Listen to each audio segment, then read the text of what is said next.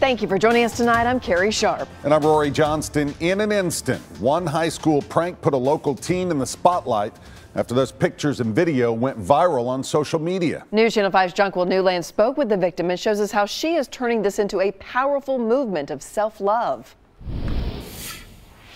One Franklin family is using an incident that happened here at Franklin High School on Friday as a way to bring awareness and hopefully stop bullying. 16 year old Lauren Williams, or Lulu for short, has found a bolt of confidence with her new hair, or rather, lack of it.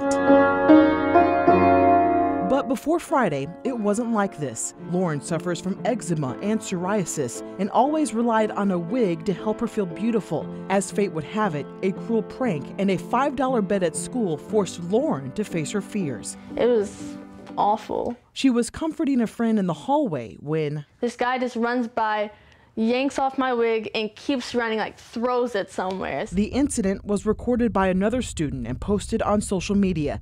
The wig was glued and pinned to Lauren's scalp.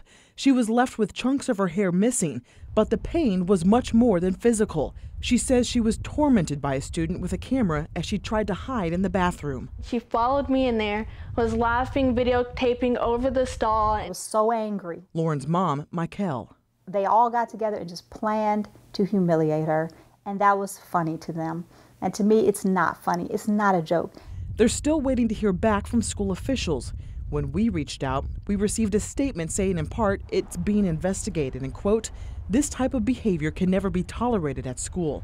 In addition to school discipline, Williamson County School prosecutes delinquent behavior to the fullest extent of the law. Their punishment today was in school suspension, which is no worse than detention. After the incident, Lauren decided to send a strong message by shaving her head. My hair was one of my biggest insecurities, so I felt like he had taken my power and I wanted it back. Beauty is not defined by the number of strands on your head. In Franklin, Jonquil Newland, News Channel 5. The Williams tell us they plan to prosecute the students involved to the fullest extent of the law.